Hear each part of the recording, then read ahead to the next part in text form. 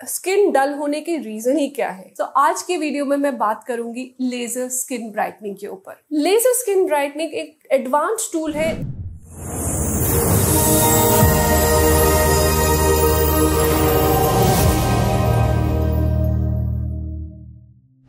Hello everyone age के साथ और टाइम के साथ हमारी स्किन अपनी ब्राइटनेस खो देती है और एक डलनेस आ जाती है स्किन के ऊपर।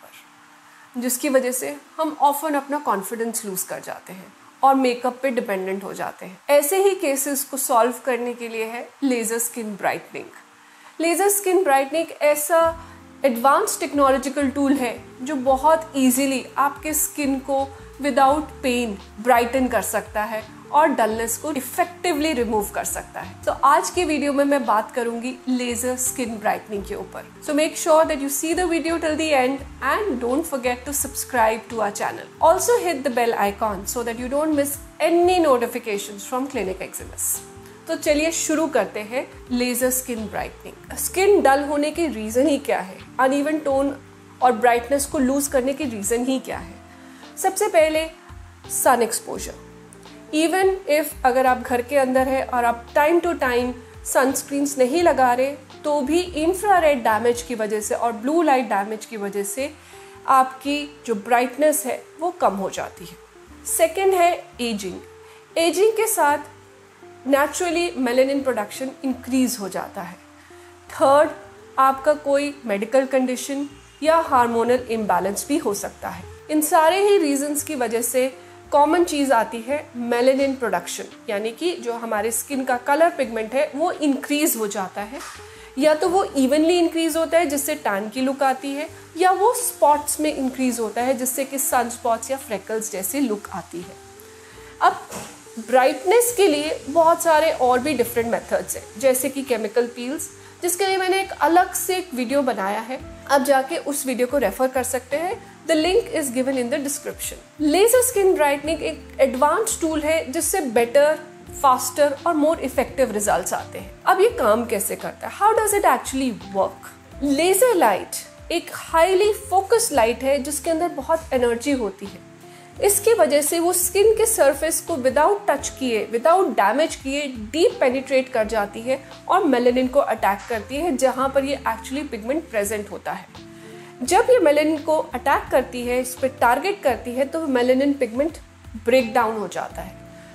ब्रेक डाउन होने की वजह से वो स्मॉलर पार्टिकल्स में चेंज हो जाता है और ब्लड के ज़रिए से आपकी बॉडी से वॉश आउट हो जाता है। क्योंकि हर एक सिटिंग में वो स्मॉलर स्मॉलर पार्टिकल्स में डिवाइड हो रहा है इसीलिए मल्टीपल सिटिंग्स रिक्वायर्ड है। यूजुअली इसके लिए क्यू स्विच लेज़र यूज़ होता है जिसकी जो लो फ्लुएंस पे काम करता है ताकि आपकी स्किन को कोई पोस्ट डैमेज ना हो और स्टिमुलेशन की वजह से कहीं इंक्रीज मेलेनिन ना प्रोड्यूस हो जाए। तो so, इसीलिए क्यू स्विच लेजर्स बहुत ज़्यादा प्रेफर्ड है लेज़र स्किन ब्राइटनिंग के लिए। अभी किसको प्रोसीजर कराना चाहिए?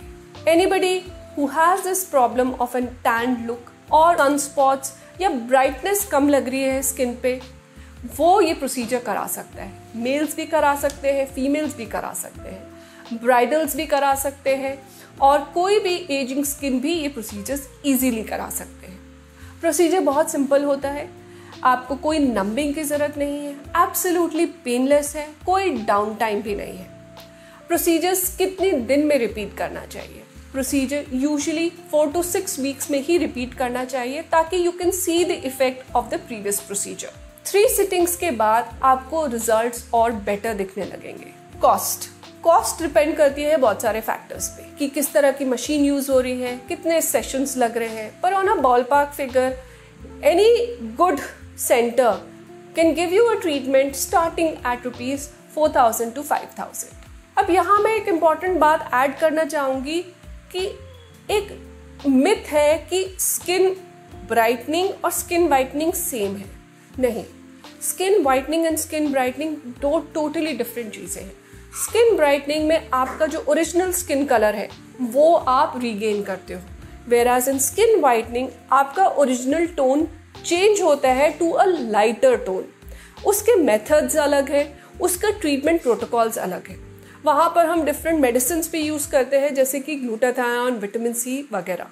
So laser skin brightening is not a whitening treatment it is a brightening treatment so before you go you should know this fact that आप एक ब्राइटनिंग ट्रीटमेंट के लिए जा रहे हो वाइटनिंग ट्रीटमेंट के लिए नहीं।